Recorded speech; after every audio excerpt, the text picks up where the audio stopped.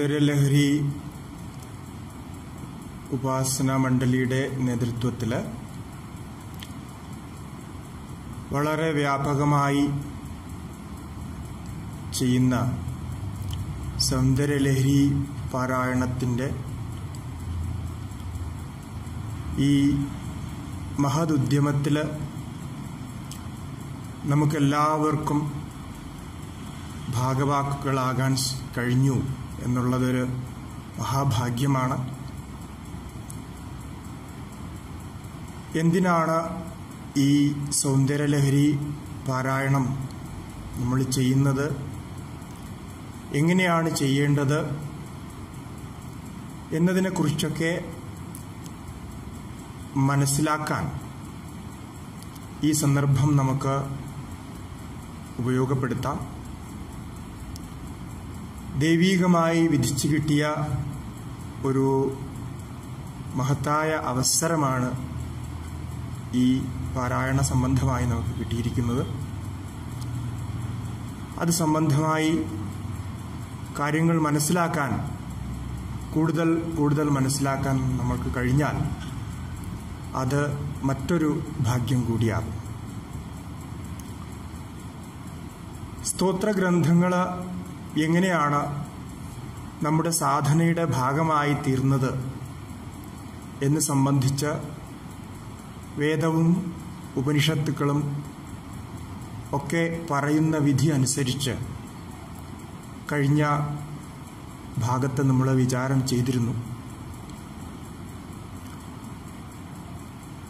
സ്തോത്രഗ്രന്ഥങ്ങളുടെ സ്ഥാനം വേദത്തിന്റെ രീതിയിൽ നോക്കിയാൽ തന്നെ വളരെ വലുതാണ്. സാധാരണ സ്തോത്രങ്ങൾ സ്തുതികൾ എന്ന് പറഞ്ഞ നമ്മൾ മാറ്റിവെക്കലാണ്. വേദമന്ത്രത്തെയൊക്കെ ചൊല്ലി പറയുമ്പോൾ അതൊക്കെ വളരെ വലുതാണ്. എന്നാൽ സ്തോത്ര സ്തോത്രഗ്രന്ഥങ്ങൾ സാധാരണമാണ് എന്നാണ് ഒരു വേള എല്ലാവരും കരുതുക. പക്ഷേ ചിന്തിച്ചാൽ മനസ്സിലാകുന്നത് ഋഗ്വേദം തുടങ്ങിയുള്ള വേദമന്ത്രങ്ങളൊക്കെ തന്നെ സ്തുതിപരങ്ങളാണ്. ഋഗ്വേദത്തിന്റെ മന്ത്രം ആദ്യത്തെ മന്ത്രം തന്നെ സ്തുതിയാണ്. അഗ്നിയെ സംബന്ധിച്ച സ്തുതികൾ അതത് ദേവന്മാരെ സംബന്ധിച്ച സ്തുതികളാണ്. സ്തുതികളിലൂടെയാണ് ഭഗവാന്റെ തത്വത്തെ അറിയാൻ ആദ്യം നമ്മൾ ശ്രമിക്കുന്നത്.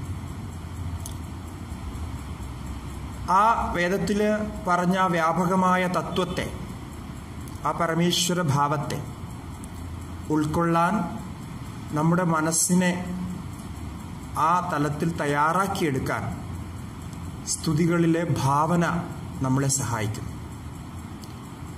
അതുകൊണ്ട് തന്നെയാവണം ഋഷികളൊക്കെ ആർഷമന്ത്രങ്ങളിലും അതുപോലെ പിന്നെ വന്ന ആഗമശാസ്ത്രങ്ങളിലും സ്തുതികൾക്ക് ഇത്ര അധികം മഹത്വം കൽപ്പിച്ചത്. അത് വേദങ്ങൾ തുടങ്ങി സ്മൃതികളിൽ പുരാണങ്ങളിൽ ഇതിഹാസങ്ങളിൽ പിന്നെ സാധാരണ മറ്റ് സ്തോത്രങ്ങൾ പ്രത്യേകമായിട്ടുള്ള സ്തോത്രങ്ങളിൽ തന്ത്രശാസ്ത്രങ്ങളിൽ ഒക്കെ തന്നെ നമുക്ക് സ്തുതിയുടെ വ്യാപകത കാണാം. സ്തുതി ശരിക്കു പറഞ്ഞാൽ ധ്യാനത്തിന്റെയും സാധനയുടെയൊക്കെ ആദ്യപടിയാണ് എന്ന് നമുക്ക് കാണാം. അതുകൊണ്ടാണ് ശങ്കരാചാര്യ സ്വാമിജികൾ അദ്ദേഹത്തിന്റെ ഗ്രന്ഥങ്ങളോടൊപ്പം ദേവന്മാരുടെ സ്തുതികളും യോജിപ്പിച്ചത്. ശങ്കരാചാര്യ സ്വാമിജികൾ ലോകം കണ്ടതിൽ വച്ച് ഏറ്റവും വലിയ അദ്വൈതവാദിയായിരുന്നു അദ്വൈത സൈദ്ധാന്തികനായിരുന്നു എന്നൊക്കെ നമുക്കറിയാം. അതോടൊപ്പം സ്വാമിജികൾ വലിയൊരു ഭക്തനും കൂടിയായിരുന്നു. ഭക്തിയുടെ ഭക്തി നിർഭരമായ അദ്ദേഹത്തിന്റെ ഗ്രന്ഥങ്ങൾ കണ്ടാൽ നമുക്ക് മനസ്സിലാകും. ഒരു അദ്വൈത ജ്ഞാനി എന്ന നിലയിൽ തന്നെ അദ്ദേഹം ഭക്തനുമായിരുന്നു. ഭക്തിയും ജ്ഞാനവും ഒരുമിച്ച് കൊണ്ടുപോയി. ഇത് രണ്ടും ചേർത്താണ് അദ്ദേഹം ലോകോദ്ധാരണം ചെയ്യാൻ ശ്രമിച്ചത്. ഏതൊക്കെ വിധത്തിൽ ലോകത്തെ സഹായിക്കാം എങ്ങനെയൊക്കെ സഹായിക്കാം സന്മാർഗത്തിൽ ലോകരെ പ്രവർത്തിപ്പിക്കാൻ എന്തൊക്കെ ചെയ്യാം എന്ന് അദ്ദേഹത്തിന്റെ കാലത്ത് ആ പരിസ്ഥിതികളെ നിലനിർത്തിക്കൊണ്ട് അദ്ദേഹം അതിന് പ്രവർത്തിച്ചു. ഇത് ഈ സന്ദർഭത്തിൽ നമ്മൾ വളരെ കാര്യമായിട്ട് ചിന്തിച്ച് മനസ്സിലാക്കേണ്ട ഒരു കാര്യമാണ്. ആചാര്യസ്വാമിജികൾ ഇത്രയധികം സ്തോത്രങ്ങൾ രചിച്ചു വച്ചത് എന്തിനാണ് സ്തോത്രങ്ങളിൽ പ്രധാനമായിട്ടും പഞ്ചദേവതാ സ്തോത്രങ്ങളാണ് നമ്മൾ കാണുന്നത്. ശിവൻ വിഷ്ണു ശക്തി ദേവി ദേവിയുടെ ഭാവത്തിൽ ലക്ഷ്മിയുടെയും സരസ്വതിയുടെയും ത്രിപുരസുന്ദരിയുടെയും ഒക്കെ സ്തോത്രങ്ങളുണ്ട്. പിന്നെ സൂര്യോപാസനയിൽ സൂര്യോപാസന സംബന്ധിച്ച് ബന്ധപ്പെട്ട കാര്യങ്ങൾ അത് കഴിഞ്ഞാൽ ഗണേശൻ കാർത്തികേയൻ. ഈ പഞ്ചദേവത ഉപാസനകളിൽ പ്രസിദ്ധമായ പഞ്ചദേവതാ ഉപാസനയിൽ വിഷ്ണുവും ശിവനും ശക്തിയും സൂര്യനും ഗണേശനുമാണ് വരുന്നതെങ്കിലും ചില സ്ഥലങ്ങളിൽ സുബ്രഹ്മണ്യനെയും സൂര്യന്റെ സ്ഥാനത്ത് ചേർക്കുന്നുണ്ട്. അപ്പോൾ ഇതിനെ സമന്വയിപ്പിക്കാനാണ് ശങ്കരാചാര്യ സ്വാമിജികൾ ശ്രമിച്ചത്. ഇത് ഇന്നത്തെ കാലത്ത് വളരെ അത്യാവശ്യമായ ഒരു കാര്യമായി നമുക്ക് തോന്നുകയാണ്. ഓരോരുത്തർ ഓരോ പക്ഷം ചേർന്ന് അവരുടെ മാത്രം ഉപാസ്യ മൂർത്തികളെ ഉപാ ആരാധ്യ ദേവന്മാരെ വാഴ്ത്തുകയും അത്തരത്തിലുള്ള പ്രവൃത്തികൾ മാത്രം ചെയ്യുകയും ചെയ്യുമ്പോൾ ശങ്കരാചാര്യ സ്വാമിജികൾ ഇവയെല്ലാം സമന്വയിപ്പിച്ച് ഇതിനൊക്കെ ഒരു ഏകോപനം കൊണ്ടുവന്ന് ആ ഏകാത്മഭാവത്തിലേക്ക് നമ്മുടെ മനസ്സിനെ കൊണ്ടുപോകാനാണ് ശ്രമിച്ചത്. ഭാരതത്തിലുടനീളം രണ്ടു വട്ടമോ മൂന്ന് വട്ടമോ മുഴുവൻ യാത്ര ചെയ്ത് ഭാരതത്തിന്റെ നാനാഭാഗങ്ങളിൽ ദക്ഷിണത്തിലും ഉത്തരത്തിലും എല്ലാ ഭാഗത്തും അദ്ദേഹം അമ്പലങ്ങൾ സ്ഥാപിക്കുകയും മഠങ്ങൾ സ്ഥാപിക്കുകയും പുരാതന അമ്പലങ്ങളെ ഉദ്ധരിക്കുകയും ചെയ്തു. അതിൽ ബദരീനാഥ അമ്പലത്തിന്റെ കാര്യവും കേദാരനാഥ അമ്പലത്തിന്റെ കാര്യവും മറ്റുമൊക്കെ നമുക്കറിയാവുന്നതാണ്. അതുപോലെ ജ്യോത് ദ്വാദശ ജ്യോതിർലിംഗങ്ങൾ നാല് ധാമങ്ങൾ വിഷ്ണുവിന്റെ ധാമങ്ങൾ ശിവന്റെ ജ്യോതിർലിംഗങ്ങൾ ഒക്കെ അദ്ദേഹം സ്ഥാപിച്ചു. അപ്പം ശൈവരെയും ശക്തേയരെയും വൈഷ്ണവരെയും ഗാണപത്യ മാർഗികളെയും സൗരമാർഗികളെയും ഇവയൊക്കെ ഒരുമിച്ച് കൊണ്ടുവരാൻ സ്വാമികൾ പരിശ്രമിച്ചു എന്നാണ്. അതിൽ അദ്ദേഹം രചിച്ച സ്തോത്രങ്ങളെക്കുറിച്ച് നമ്മൾ പറയുമ്പോൾ സൗന്ദര്യലഹരി സ്തോത്രത്തിനുള്ള ഒരു മഹിമ ഇതുകൂടിയാണ്. അതായത് ശക്തേയരാണ് ശക്തി ഉപാസകരെന്നാണ് നമ്മൾ സാധാരണ കരുതുന്നത്. പക്ഷേ ശിവനെ ഉപാസിക്കുന്നവരും പാർവതിയുടെ രൂപത്തിൽ അല്ലെങ്കിൽ കാളിയുടെ രൂപത്തിൽ അവിടെ ശക്തിയെ ഉപാസിക്കുന്നുണ്ട്.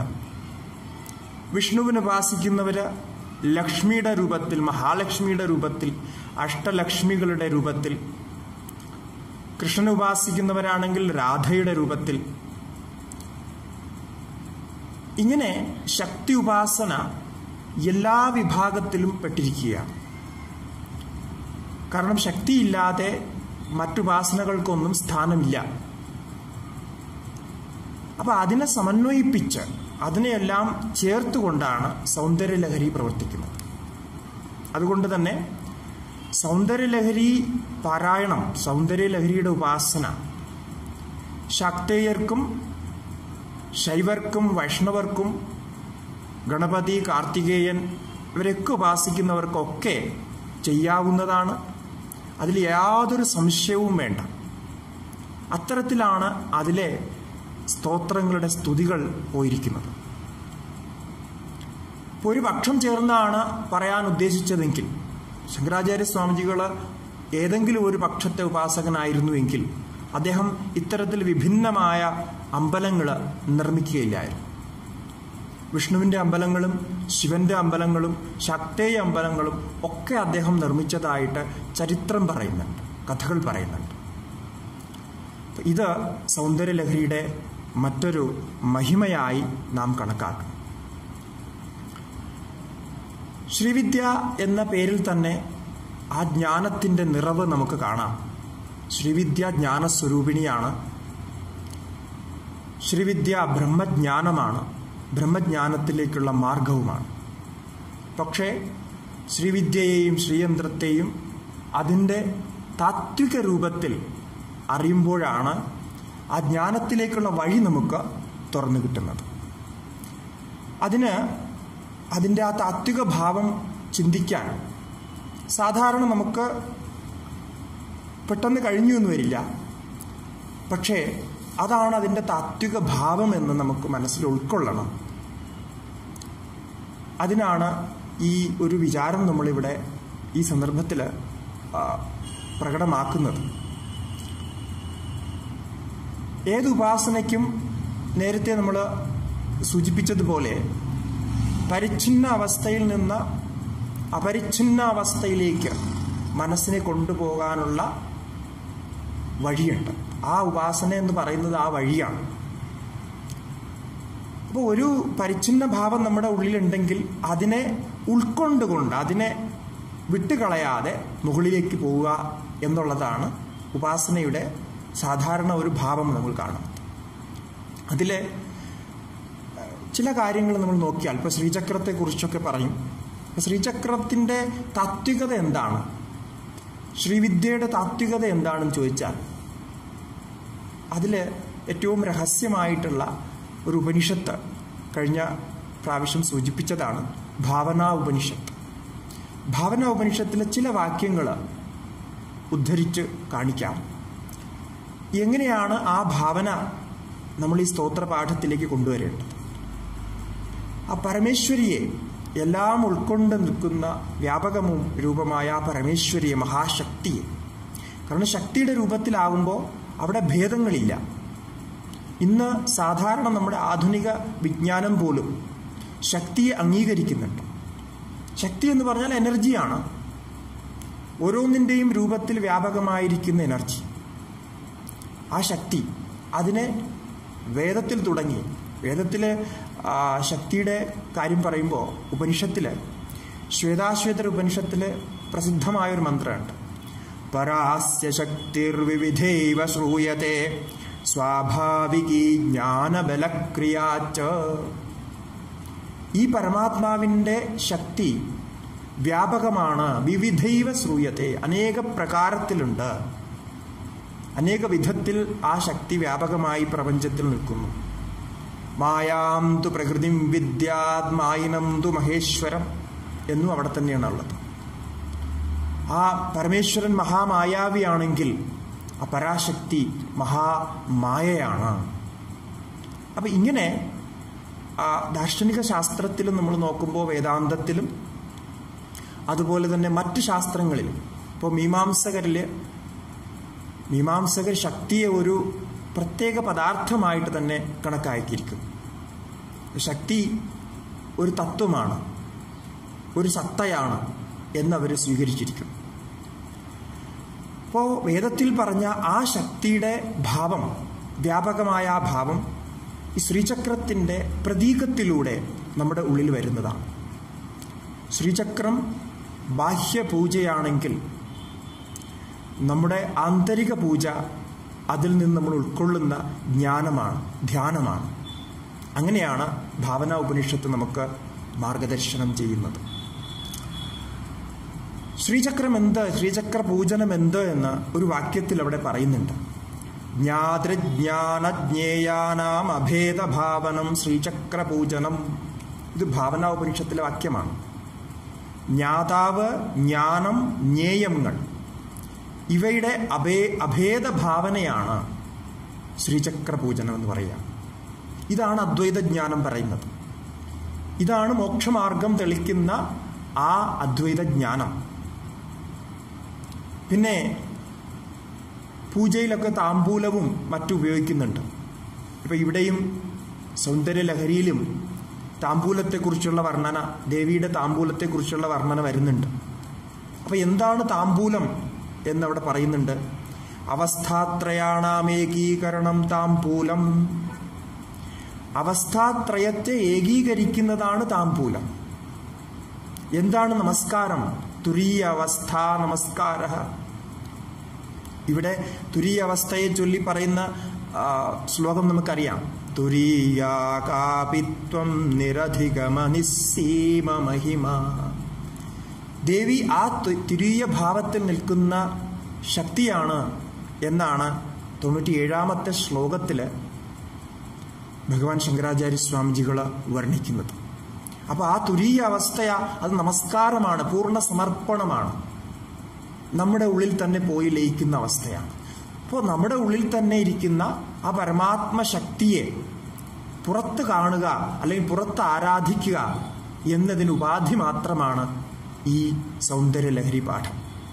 അതിനെ സുന്ദരമായി വർണിക്കുമ്പോൾ അതിലുണ്ടാകുന്ന ആകർഷത കൊണ്ട് അതിലുണ്ടാകുന്ന ആ സൗന്ദര്യ മനോഹാരിത എപ്പോഴും നമ്മുടെ മനസ്സിൽ നിറഞ്ഞു നിൽക്കും. അത് നമ്മളെ എപ്പോഴും അതിലേക്ക് ആകർഷിക്കും. അപ്പോൾ ഇങ്ങനെ രണ്ട് മൂന്ന് കാര്യങ്ങൾ ഞാൻ പറഞ്ഞത് ഇതിന്റെ ആ തത്വം മനസ്സിലാക്കാനാണ്. കൂടുതൽ വിശദമായിട്ട് ഭാവനാ ഉപനിഷത്തും മറ്റുമൊക്കെ നമുക്ക് മനസ്സിലാക്കാം. പക്ഷേ ഈ രീതിയിലാണ് ശക്തിപൂജയെ നാം കാണുന്നത്. അതുപോലെ ശിവപൂജയെ നാം കാണുന്നത്. ഇപ്പോൾ പൂജയിൽ വരുമ്പോൾ ആകാരവർണന ആകാരത്തെക്കുറിച്ചുള്ള ചിന്തനം. അതിൽ പല വാദങ്ങളുണ്ട്. ചിലവർ പറയുന്നത് സാകാരമൂർത്തി എന്ന് പറയുന്നത് വളരെ സാധാരണമാണ്. അല്ലെങ്കിൽ വേദത്തിലും മറ്റും സാകാരമൂർത്തിയുടെ പൂജനമില്ല. അതൊക്കെ പിൽക്കാലത്തുണ്ടായതാണ് എന്നൊക്കെ ചില വാദങ്ങളുണ്ട്. ആവാം അങ്ങനെയൊക്കെ ആവാം. വിഗ്രഹങ്ങൾ പൂജിക്കുന്നതൊക്കെ ആ രീതിയിൽ നമുക്ക് ചിന്തിക്കുമ്പോൾ ചിലപ്പോൾ അങ്ങനെ തോന്നാം. പക്ഷെ ഒന്ന് മനസ്സിലാക്കേണ്ടത് വേദം വേദത്തിൽ ഉപനിഷത്തുക്കളിൽ തന്നെ പുരുഷന്റെയും സ്ത്രീയുടെയും ആകാരത്തിൽ ദൈവീയ ശക്തിയെ പരമാത്മാവിനെ വർണിച്ചിട്ടുണ്ട് എന്നത് വളരെ സ്പഷ്ടമാണ്. അതിന്റെ വിരാട് രൂപത്തെ പുരുഷാകാരത്തിലും അത് ചിലപ്പോൾ പുരുഷാകാരത്തിൽ തന്നെയല്ല ഏതൊരു ആലംബനമെടുത്തും ആ ആകാരത്തിലും വ്യാപകമായി വർണിക്കുന്ന രീതി ഉപനിഷത്തുക്കളിൽ നമുക്ക് കാണാം. അതിന് മറ്റൊരു ഉദാഹരണമാണ് അതിനെ ഒന്ന് ഉറപ്പിക്കാൻ മറ്റൊരു ഉദാഹരണമാണ് ബൃഹദാരണ്യക ഉപനിഷത്തിലെ ഒന്നാമത്തെ അധ്യായത്തിലെ ഒന്നാമത്തെ ബ്രാഹ്മണം. ഒരു അശ്വത്തെ ഒരു കുതിരയെ വിരാട് രൂപത്തിൽ കാണുന്നതാണ് ആ വർണന. ഉഷാവാ അശ്വസ്യമേധ്യസ്യ ശിരഹ എന്ന് പറഞ്ഞിട്ട് ആ ഒരു കുതിരയാണ് അവിടെ വർണിക്കുന്നത്. അവിടെ പുരുഷനും സ്ത്രീയുമല്ല ഒരു കുതിരയെ തന്നെ വളരെ വ്യാപകമായ രീതിയിൽ ആ വിരാട് രൂപത്തിൽ വർണിക്കുകയാണ്. അതുപോലെ ഭഗവത്ഗീതയിൽ ഏകാദശ അധ്യായം നമുക്കറിയാം. ഇങ്ങനെ അനേകം അനേകം ആ ആകാര വർണനയുണ്ട് പിന്നെ ഒരു സത്യം മനസ്സിലാക്കേണ്ടത്. ഇപ്പോൾ ഏകാദശ അധ്യായത്തിന്റെ അല്ലെങ്കിൽ വിഭൂതി യോഗത്തിന്റെ പത്താമത്തെ അധ്യായത്തിന്റെ വിഷയം നമ്മൾ എടുത്താൽ എല്ലാ രൂപത്തിലും ഭഗവാനെ കണ്ട് ആരാധിക്കുന്ന സംസ്കാരം നമ്മുടെ ഭാരതത്തിൽ ഉണ്ടായിരുന്നു. അത് വൈദിക കാലം മുതൽക്കേ തുടർന്നു വന്നതാണ്. കല്ലുകൊണ്ടുണ്ടാക്കിയ ഒരു വിഗ്രഹത്തെ അമ്പലം നിർമ്മിച്ച് ആരാധനാലയം നിർമ്മിച്ച് അതിൽ സ്ഥാപിച്ച് അതിൽ ആരാധിക്കുമ്പോൾ അവിടെ കല്ലിനെ അല്ല ആരാധിക്കുന്നത്. കല്ലിനെയാണ് ആരാധിക്കുന്നതെന്ന് തോന്നുന്നത് വെറും സ്വൽപ്പ ചിന്തനമാണ് ഒരു പരിച്ഛിന്ന ചിന്തനമാണ്. കല്ലിനെ ആരാധിക്കാൻ കഴിയില്ല കല്ലിനെ അല്ല ആരാധിക്കുന്നത്. അവിടെ ഈശ്വര ഭാവത്തിൽ കണ്ടുകൊണ്ടാണ് ആരാധിക്കുന്നത്. ഒരു വൃക്ഷത്തെ വടവൃക്ഷത്തെ ആരാധിക്കുമ്പോൾ വൃക്ഷത്തിലെ ഭഗവാന്റെ സ്വരൂപം കണ്ടുകൊണ്ടാണ് ആരാധിക്കുന്നത്. കാരണം ഭഗവാൻ തന്നെ ഗീതയിൽ അങ്ങനെ പറഞ്ഞിരിക്കുന്നു. അശ്വത്ഥ സർവവൃക്ഷാണ് അപ്പൊ ഇതാണ് ആ ഭാവന. ആ ഭാവനയിലൂടെയാണ് നമ്മൾ ഈ സ്തോത്രപാഠം ചെയ്യേണ്ടത്. അപ്പോൾ നമുക്ക് ജ്ഞാനം സ്വയം തന്നെ സിദ്ധിച്ചു കിട്ടുകയാണ്. ആ ജ്ഞാനം അവിടെ ഉണ്ടാകുമെന്ന് തൊണ്ണൂറ്റി ഒൻപതാമത്തെ ശ്ലോകത്തിൽ ഫലശ്രുതി പറയുന്നതും ഈ ഒരു ഭാവത്തെ മുൻനിർത്തിക്കൊണ്ടാണ്. അപ്പോൾ അങ്ങനെ ആ ഭാവസംബന്ധമായ വിചാരമാണ് നമ്മൾ ചെയ്തത്. ഇനി ഈ സ്തോത്രത്തെക്കുറിച്ച് ഒന്ന് രണ്ട് കാര്യങ്ങൾ പറയാം. ഈ സ്തോത്രം നൂറ് ശ്ലോകങ്ങളുള്ളതാണ്. എന്നാൽ ചില പാഠഭേദമനുസരിച്ച് നൂറ്റി മൂന്ന് ശ്ലോകങ്ങളും കാണുന്നുണ്ട്. ശിഖരിണി എന്ന വൃത്തത്തിൽ വന്നിരിക്കുന്നതാണ്. എന്റെ ഛന്ദസ് ശിഖരിണിയാണ്. പതിനേഴ് അക്ഷരങ്ങളുണ്ട്. അതിൽ ആറ് പതിനൊന്ന് എന്ന മാത്രയിലാണ് അതിന്റെ യതിയും ഗതിയും ഒക്കെ നോക്കിയിട്ടാണ് നമ്മൾ ചൊല്ലുക. ശിവശക്തിയായുക്തോ യതി ഭവതി ശക്തപ്രഭവിതും എന്ന ആ ഒരു രീതി. ചൊല്ലുന്ന രീതി അതിന്റെ ഒരു ഏകീകൃത രീതി നമ്മൾ ഉണ്ടാക്കുന്നുണ്ട്. അത് നിങ്ങൾക്ക് ഉടനെ തന്നെ കിട്ടുന്നതായിരിക്കും. അപ്പോൾ ഈ സ്തോത്രം ഇതിന്റെ ഒരു ഭാവത്തിൽ നമ്മൾ നോക്കുകയാണെങ്കിൽ ജ്ഞാനാധിഷ്ഠിതമാണ് ഈ സ്തോത്രം. കാരണം ജ്ഞാനം പ്രാപിക്കുന്ന പ്രാർത്ഥനയാണ് ഇതിൽ ഏറ്റവും അധികമുള്ളത്. ശ്രീചക്രത്തിന്റെയും പഞ്ചദക്ഷാക്ഷരി മന്ത്രത്തിന്റെയും ശ്രീവിദ്യാ മന്ത്രത്തിന്റെയും ഒക്കെ വർണന അതിന്റെ തലങ്ങളിലുണ്ട്. താന്ത്രികമായ വർണനയുണ്ട്. സമയാചാര സംബന്ധമായ വർണനകളുണ്ട്. കൗളാചാര സംബന്ധമായ വർണനകളുണ്ട്. ഇതൊക്കെ അതിന്റെ ഒരു സാങ്കേതിക വശങ്ങളാണ്. അതൊക്കെ നമുക്ക് വഴിയെ മനസ്സിലാക്കാൻ കഴിയുന്നുള്ളതാണ് എന്നാൽ മൊത്തത്തിൽ ശ്ലോകത്തിന്റെ താത്പര്യം എന്ത് എന്ന് ചോദിച്ചാൽ ഇത് ജ്ഞാനപ്രാപ്തിക്ക് വേണ്ടിയുള്ളതാണ്. അപ്പോൾ ആ ജ്ഞാനപ്രാപ്തിക്ക് പോകുന്ന മാർഗത്തിൽ അതിൽ ഏകദേശം എട്ട് ഒൻപത് ശ്ലോകങ്ങൾ സ്പഷ്ടമായിട്ട് ജ്ഞാനത്തിന് വേണ്ടി പ്രാർത്ഥനയായിട്ട് വരും. ആ ജ്ഞാനപ്രാപ്തിക്ക് പോകുന്ന മാർഗത്തിൽ നേരത്തെ നമ്മൾ സൂചിപ്പിച്ചതുപോലെ ക്രമത്തിൽ കർമ്മവും വാസനയും ഒക്കെ വേണം. ആ കർമ്മവും ഉപാസനയും ചെയ്തു പോകുമ്പോൾ അവിടെ വരുന്ന ആഗ്രഹങ്ങൾ അതായത് മനസ്സിലുള്ള ആഗ്രഹങ്ങൾ ഇപ്പോൾ വിശന്നിരിക്കുന്ന ഒരാളിന് വിശന്നിരിക്കുന്ന ഒരാളിനോട് ജ്ഞാനം ഉപദേശിച്ചാൽ അത് ഒരു ഫലവും ഉണ്ടാക്കില്ല. വിശന്നിരിക്കുന്ന ആളിന് ആദ്യം വേണ്ടത് വിശന്നിരിക്കുന്ന ആളിന് ആദ്യം വേണ്ടത് ഭക്ഷണമാണ്. അതുപോലെ ഒരു വാസന മനസ്സിലുണ്ടെങ്കിൽ ആ വാസന എന്താണ് എന്ന് നമ്മൾ മനസ്സിലാക്കേണ്ടതാണ് ആദ്യത്തെ പടി. എന്നാൽ മാത്രമേ മുന്നിലേക്ക് പോകാൻ കഴിയുകയുള്ളൂ. അപ്പൊ ആ രീതിയിലാണ് ഈ സ്തോത്രത്തിന്റെ പോക്കം ഈ സ്തോത്രത്തിൽ നേരത്തെ പറഞ്ഞതുപോലെ എല്ലാം ഉൾക്കൊണ്ടിരിക്കുന്നത് കൊണ്ട് ശിവനെയും വിഷ്ണുവിനെയും ഗണപതിയെയും കാർത്തികേയനെയും ലക്ഷ്മിയെയും പാർവതിയെയും സരസ്വതിയെയും ഒക്കെ ഉൾക്കൊണ്ടിരിക്കുന്നത് കൊണ്ട് ഇതൊരു സമഗ്ര ശ്ലോകമാണ് സ്തോത്രരാജമാണ് ആ സ്തോത്ര ഗതി നമ്മൾ നോക്കിയാൽ എല്ലാ ഭാവത്തെയും നമുക്കതിൽ ഉൾക്കൊള്ളാൻ കഴിയും. ഇപ്പോൾ മറ്റ് സ്തോത്രങ്ങൾ ഇപ്പോൾ ലക്ഷ്മിയുടെ സ്തോത്രമാണെങ്കിൽ ലക്ഷ്മി മാത്രം സ്തുതിക്കലാണ്. സരസ്വതി സൂക്തമാണെങ്കിൽ സരസ്വതി മാത്രം സ്തുതിക്കുന്നതായിട്ടാണ് വരുന്നത്. ഇവിടെ അങ്ങനെയല്ല. എല്ലാം ചേർന്നു പോകുന്നു. അത് ഈ സൗന്ദര്യലഹരിയുടെ മറ്റൊരു ഉപാധേയതയ്ക്ക് മറ്റൊരു ഹേതുവായിട്ട് നമുക്ക് പറയാം. അപ്പൊ ഇങ്ങനെ സ്തോത്രത്തിന്റെ ആ ഒരു ഭാവം നമ്മൾ സ്വീകരിച്ചാൽ നമ്മുടെ പരമ്പരയിൽ അത് വീണ്ടും വിശദമായി സംസാരിക്കേണ്ട വിഷയമാണ്.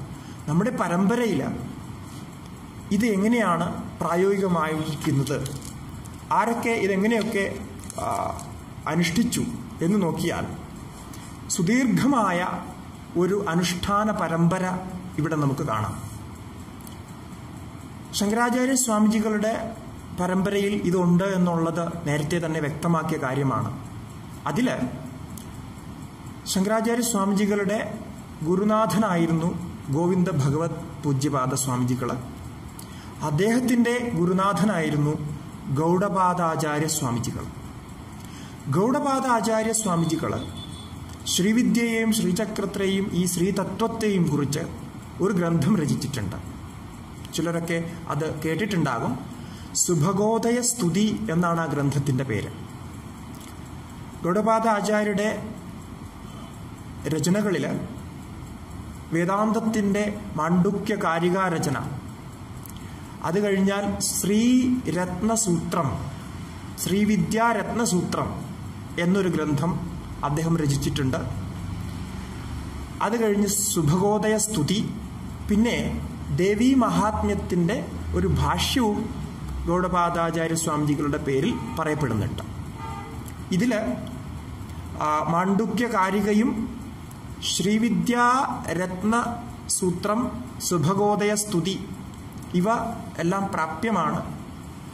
അതിലെ ശ്രീവിദ്യാരത്ന സൂത്രത്തിന് നല്ലൊരു വ്യാഖ്യാനവുമുണ്ട്. അത് ശ്രീ ശങ്കരാരണ്യ മുനിസ്വാമിജികൾ ദീപിക എന്ന രീതിയിൽ ഒരു വ്യാഖ്യാനം എഴുതിയിട്ടുണ്ട്.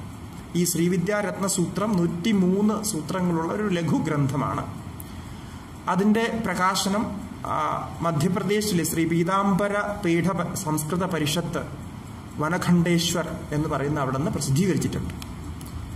ഇതിൽ നമ്മൾ സുഭഗോദയ സ്തോത്രത്തെക്കുറിച്ചാണ് പറയുന്നത്.